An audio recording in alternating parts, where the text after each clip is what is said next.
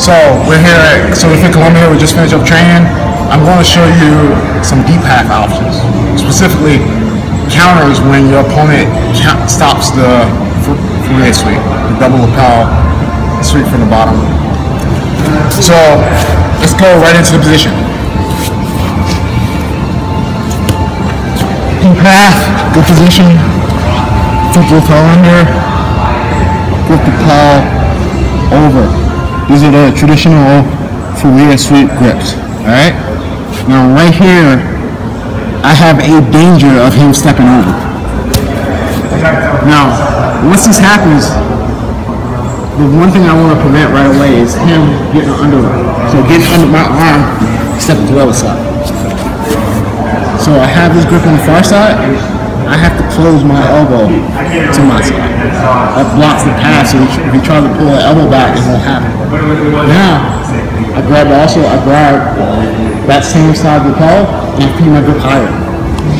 And then close it even more. So now I'm turning his body, rotate his body away. Switch the hook. Stretch your a little, but lets me get up on his elbow. And then I'm gonna slide. I'm gonna push my hip into him slide the knee behind, to the hip, and as I sit to the hip, underhook, over, stretch your mount, step up to the back. Option number one. Option number two, same grips. He immediately stops me from running for real. I close my elbow right away. Called. I even shrink away to make sure I get like more distance, more leverage, get a deeper grip high, making sure my elbows tight. Flip the hook. Stretch away from the elbow. I'm a. And there's a sweep off in here. But that's very common. We assume going to do the right thing. As soon as he bases, I go to my knees, roll with the shoulder, steam away, grab the hip, my cop, take it back that way. And just for fun, I'll show you the actual sweep in case you don't know what the Faria sweep is. So, if he doesn't counter at all, and I'm in the position where I have my grip,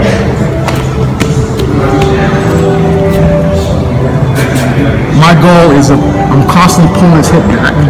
So these grips are pulling actively the time. I swing until my back's on the mat already falling. Right here, I'm keeping the grips tight. I'm going to base and bridge towards his leg, his hip. So I'm bringing on my near shoulder, which is my right shoulder. And I'm going to bridge to the sky and then So it's bridging here, he starts falling. And then we plan how that situation changes. Might be a pass opportunity, it might be a back opportunity, depending on how he reacts. So this is some deep half options for you to start playing with. And um, I hope you have success with it. Let's have fun today. Have a good day.